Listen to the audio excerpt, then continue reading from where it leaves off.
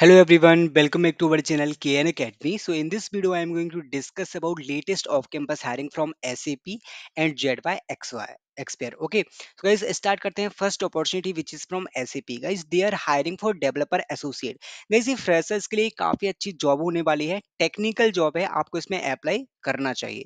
सो, developer associate आपका job title यहाँ पे होने वाला है। अगर मैं बात करूँ यहाँ पे क्वालिफिकेशन क्राइटेरिया की, यहाँ पे क्या क्या क्वालिफिकेशन रिक्वायर्ड है? तो एजुकेशन आप देख सकते हैं, B B tech M, E M tech so, इसमें बी बी टेक और एम, ई एम टेक के स्टूडेंट्स अप्लाई कर सकते हैं।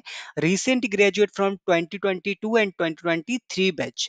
And यहाँ पे है zero to three years of ABAP O data S O A P, web services, skill development experience. यहाँ पे बेसिकली यहाँ पे रिक्वायर्ड है कि ज़ीरो टू थ्री ईयर्स अगर आपके पास थ्री इयर्स का भी एक्सपीरियंस है, तब भी अप्लाई कर सकते हैं। ज़ीरो इयर्स का एक्सपीरियंस है, तब भी आप इसमें अप्लाई कर सकते हैं। And proper ability to work in a distributive setup good understanding of agile and lean software development process so basically इसमें आपको agile methodology and software development के बारे में जानकारी होना चाहिए नॉलेज होना चाहिए डेफिनेटली तब आप इसमें अप्लाई कर सकते हैं बिकॉज़ आपकी टेक्निकल जॉब होने वाली है।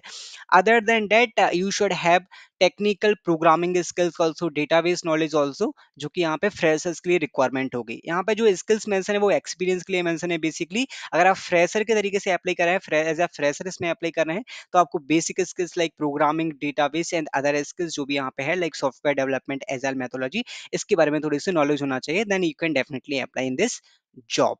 Now, talking about the second opportunity, which is from ZY expert. They are hiring for software engineer trainee. ये भी काफ़ी अच्छी जॉब होने वाली है फ्रेशर्स के लिए.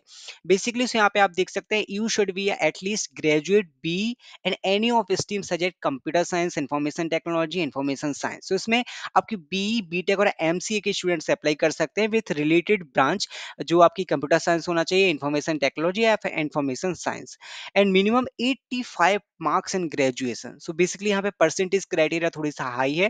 गाइस आपके पास 60 सॉरी 85 परसेंट यहाँ पे आपके ग्रेजुएशन में होना चाहिए।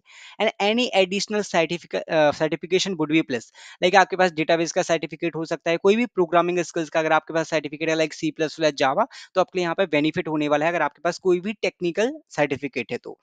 ओके okay, यहाँ पे रिक्वायर्ड स्किल्स आप देख सकते हैं कि excellent analytical and logical ability and excellent communication skills you should have and selection process आपका क्या होने वाला है? फ़र्स्ट राउंड आपका होगा यहाँ पे एप्टीट्यूड टेस्ट जनरल उसके बाद आपका होगा टेक्निकल टेस्ट लाइक आपका कोडिंग टेस्ट टाइप का। उसके बाद आप होगा आपका फाइनल टेक्निकल इंटरव्यू तो इस तरीके से आपके डिफरेंट डिफरेंट फेस यहाँ पे होने वाले हैं सिलेक्शन प्रोसेस के। सो so इसमें जल्दी से जल्दी जाकर आप अप्लाई कर सकते हैं। Apply now okay and if you have related skills and ability then okay so i have discussed about two of campus hiring sap की भी काफ़ी अच्छी जॉब है एंड इस कंपनी भी काफ़ी अच्छी जॉब है दोनों ही टेक्निकल जॉब्स हैं सो इसमें बी बीटेक और एमसी के ग्रेजुएट्स अप्लाई कर सकते हैं from 2021 2022 and 2023 batch so i hope you like the video thank you guys thanks for watching